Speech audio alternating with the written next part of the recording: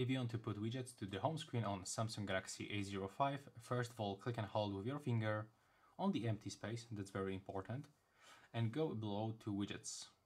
Now, you can find here a lot of different widgets. So let's say that you want to get quick access into the Spotify control. So you will have to tap on it once and click add. Now as you can see, it appears just right here. You can click and hold it. And sometimes you can actually resize widgets when you have some kind of the dots right here. Uh, so you can just drag them up and down to make them bigger or smaller.